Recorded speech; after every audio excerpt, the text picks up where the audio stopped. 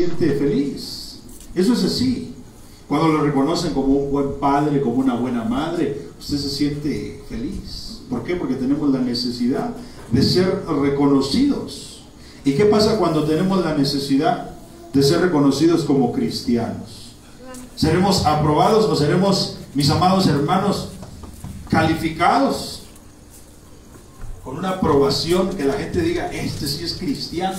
Esto sí es cristiana porque él habla diferente, él camina diferente. ¿Por qué, mi hermano? No porque vivamos de apariencias, sino porque nuestra ciudadanía celestial nos enorgullece. Estamos orgullosos de saber que nosotros venimos a esta tierra y al igual que todos nacimos y, y, crecemos y nos desarrollamos, nos reproducimos y morimos, pero un día volveremos al estado eterno.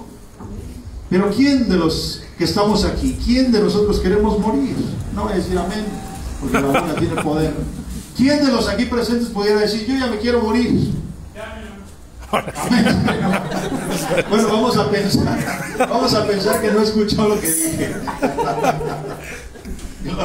Es que yo le digo, hermano, tengamos cuidado con lo que decimos. Bueno, sirve para, para que usted se sonría un poco. Para los que acaban de llegar, estamos leyendo primera de Juan 2.6. El que dice que permanece en él debe de andar como él anduvo. ¿Cuál es el problema, mis amados hermanos, de predicar la palabra? De que antes usted, hablaba de Cristo, hace 20 años predicaba de Cristo, 30 años, y la gente, bueno, escuchaba.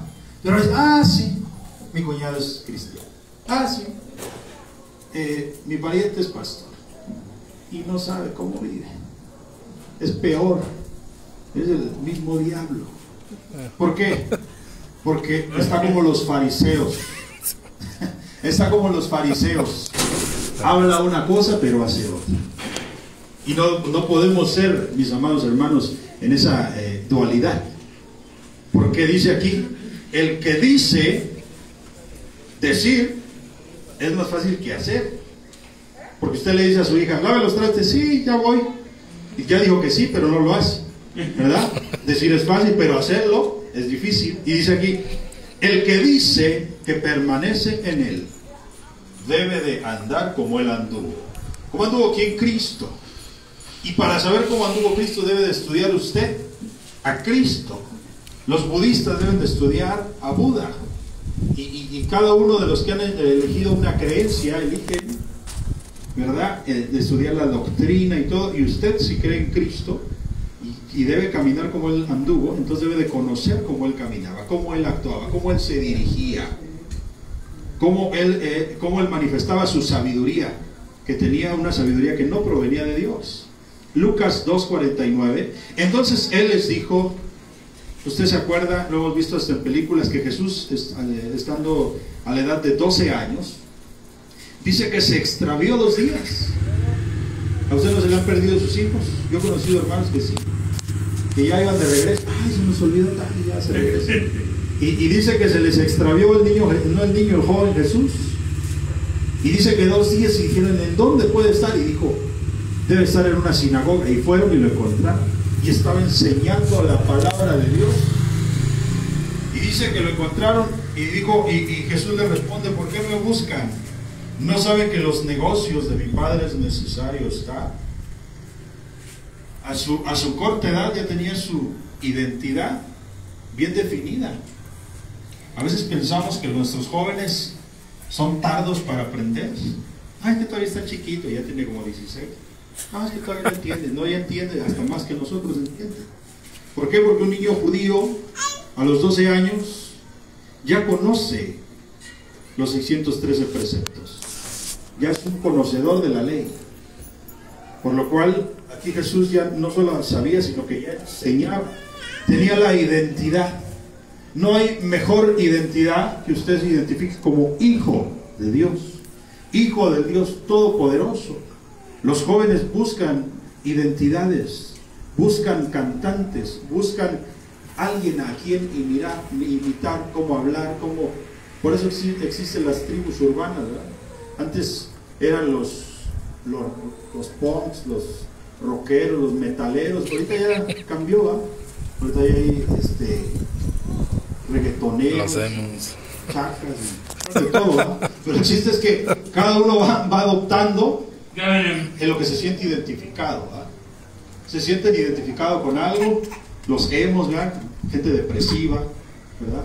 Entonces pues, van buscando en qué, se, en qué se identifican y lo copian, y se visten, y se peinan, y se arreglan como, como, como aquel modelo que eligieron. Pero usted y yo tenemos un modelo que ya nos ha sido dado, y es como hijos de Dios Amén. hijos de Dios. Amén, amén. Por lo cual nosotros debemos de definir nuestra identidad sin temor a nada, hermano. Hoy el mundo se autopercibe como lo que sea y la gente le aplaude. ¿Sí? Hace algunos años, y no me quiero meter mucho en esos temas porque están grabando, pero ahora, hoy en día, la gente se puede autopercibir como lo que sea y se les es reconocido y aplaudido. Y si usted no lo hace, usted está mal. Y, y si usted quiere, dijo una persona, si usted quiere saber de, de lo que vendrá en la tecnología del futuro, vaya y, y voltee a ver a China. Pero si usted quiere ver de, de- de la depravación, voltee a ver a Europa. Porque en Europa hay mucho liberalismo. Y ahí ahorita ya van más avanzados que aquí. Ahí ya se pueden autopercibir como ya no hay transexuales, ya hay transespecie. Si se siente jirafa, usted lo debe tratar como jirafa. Si se perciben como cualquier otro animal, usted lo debe respetar porque es transespecie. Y es una depravación y un extravío, mis amados hermanos, que a Dios no le agrada porque Dios ya instituyó todo. Pero aquí se cumple la palabra de Mateo 24, que seríamos aborrecidos por lo que creamos. De todas las creencias, si usted mete la Biblia, va a ser aborrecido por la gente. Lo van a odiar. Está dispuesto a que lo odien por lo que cree Amén. por la verdad, por decir la verdad, mataron a Cristo. Y cuando usted diga la verdad, seguramente le va a generar muchos problemas, porque nos es más cómoda la mentira. Gloria al Señor. Mas ellos no entendieron las palabras que les habló. Y descendió con ellos y volvió a Nazaret y estaba sujeto a ellos y a su madre y guardaba todas estas cosas en su corazón. De aquí quiero hacer un salto, el Espíritu me, me está llevando a otra parte de la palabra que está en Romanos. Uno. Romanos. La, la tierra, el mundo, ha experimentado diversos juicios. Hablábamos en el inicio acerca del diluvio, ¿verdad que sí?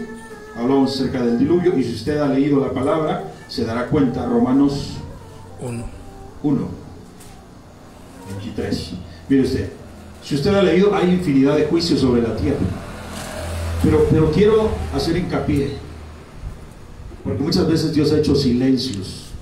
Antes de, de Malaquías a Mateo hay muchos años de diferencia. Hay más de 400 años. Algunos dicen que son 430.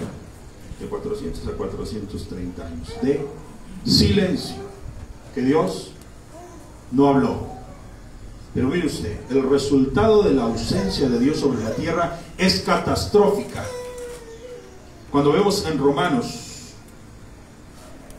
1, 20, 21, Romanos 1, 21. Usted leyó o ha leído en la ley, en Éxodo, que Dios les había dado mandamientos y estatutos.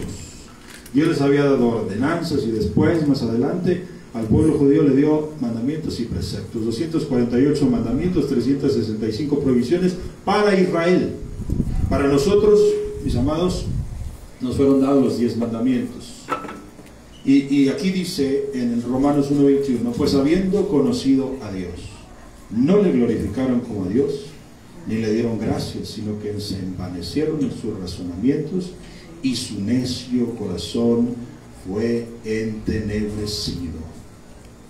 ¿De quién estará hablando aquí? Porque dice que conocían a Dios, pero no le glorificaron como a Dios. El pueblo de Israel hizo eso infinidad de veces. Cuando su líder estaba hablando con el mismo creador de los cielos y de la tierra, ellos ya estaban fabricando algo en quien, algo ante que postrarse. Qué tremendo, hermano. Pero el Dios que habita entre nosotros es invisible. Ahora Él habita o quiere habitar dentro de usted. dentro de su mente, dentro de su corazón. Porque si usted le da el lugar que le corresponde al Señor, su vida cambiará rotundamente. Amén. Habiendo conocido a Dios, no le glorificaron como a Dios, ni le dieron gracias, sino que se envanecieron en sus razonamientos. Razonamiento. ¿Qué es, ¿Qué es lo que sucedió con Eva? Satanás le vino a transgiversar, mezclar verdad con mentira, sacar de contexto lo que Dios había dicho para engañar a, esta, a este género, a, esta raza humana. La persuadió. Y muchos a veces hemos pensado y hemos dicho, ay, pues qué inocentes, qué ingenuos Adán y Eva que se dejaron engañar. Nosotros hoy en día seguimos siendo engañados por la serpiente. ¿Para qué tanto vas a la iglesia si puedes verla a través de Facebook Live? Pastor está parado transmitiendo. ¿Para qué vas? ¿Para qué sales? Ahí quédate en tu casa. La comodidad, el confort. Y el, enemigo sigue engañándonos. El pecado siempre es atractivo ante los ojos. Si no, nadie pecaría. Entonces el enemigo, el tentador, sigue trabajando hasta el día de hoy. Entonces dice que conocían a Dios, pero no le glorificaron como a Dios. Por eso nosotros a través de la alabanza debemos de glorificarle, hermano. Con todo nuestro corazón, con toda nuestra alma y con todo nuestro ser debemos de glorificar a nuestro Dios. Pero yo le voy a decir algo, le voy a decir algo que, que podemos ver a la luz de las escrituras. ¿Quién es el que alaba? ¿Quién es el que glorifica a Dios? Aquel que ha visto su gloria. No podemos cantarle a un Dios que no conocemos. Yo le voy a decir, le voy a decir un ejemplo. ¿Se acuerda de, de, cuando subían los discípulos a orar a la hermosa? Y había, había una persona, un cojo de nacimiento, ¿se acuerda? Amén. Y dice que cuántos años llevaba? Postrado en esa... ¿No se acuerda? Si no me falla mi memoria, eran 38 años que había pasado en esa condición. Y estaba ahí tirado en la iglesia, pero cuando se encontró a Pedro y le dijo, Pedro, yo no tengo plata ni tengo oro, lo que tengo te doy, y fue levantado, Pedro no le dijo, ahora entra glorificando a Dios a la iglesia. Él irrumpió en la hora de la oración, en una hora solemne, y entró glorificando.